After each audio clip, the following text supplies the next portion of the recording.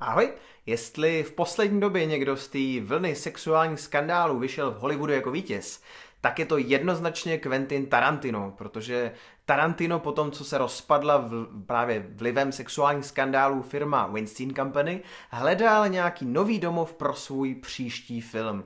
V Hollywoodu se o něj okamžitě strhla obrovská mela, několik velkých filmových studií nabízelo hory doly a ve finále zůstaly dvě společnosti, které si to rozdali mezi sebou. Byly to Warneri a byla to firma Sony.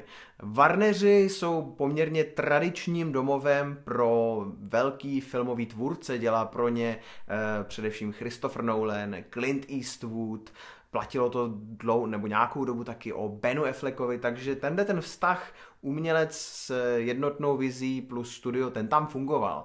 Eh, další výhoda, co hrála Warneru do karet, eh, byla skutečnost, že eh, Tarantino momentálně pracuje s producentem Davidem Heymanem, se kterým má právě společnost Warner Brothers dlouholetý vztah a ještě, aby si eh, Tarantina naklonili, tak pro něj připravili takový krásný divadílko, kdy celý to studio nebo tu jeho vnější fasádu předělali nebo namaskoli do stylu roku 1969, ve kterým se ten snímek bude odehrávat. Eh, přistavili tam eh, auta, jakože veterány dobový, dali tam na to studio původní logo, který se používalo právě v tom roce 69 a ještě během té schůzky podávali nejlepší koktejly z oblíbeného Los Angeleského baru.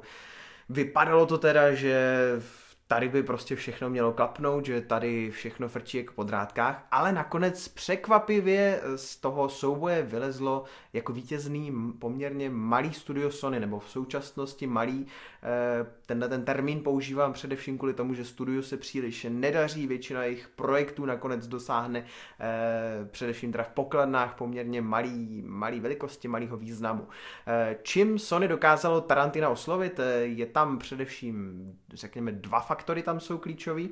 Tak za prvý, Sony, uh, produ- nebo Sony distribuovalo mezinárodně film Nespoutaný Django a dodnes je Nespoutaný Django uh, Tarantinův komerčně nejúspěšnější film. Jestli si to dobře vybavuju, tak tam se šlo celosvětově přes 400 milionů.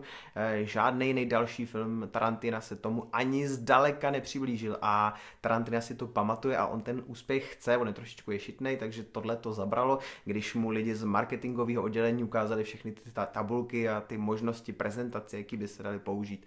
Takže to klaplo a druhým velkým lákadlem byl pro Tarantina, velkýho milovníka filmu a filmové historie, eh, šéf studia eh, John nebo Tom Rotman. Eh, Tom Rotman je totiž taky obrovský milovník filmu, chodící encyklopedie filmové historie a tak si ty dva prostě parádně potykali a nějakým způsobem tam ten vztah potom klapnul.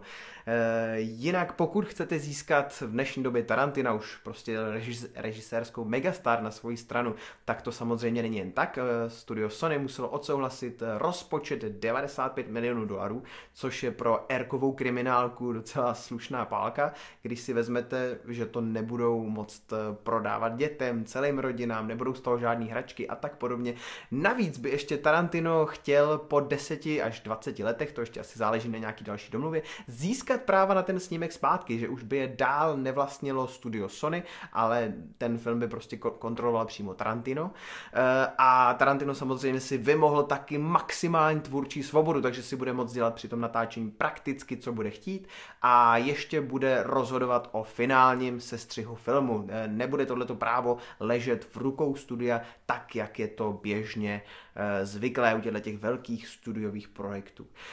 Takže eh, kdybyste chtěli příště lanařit eh, Tarantina s nějakým jeho dalším snímkem do svojí stáje, víte, co pro to máte udělat.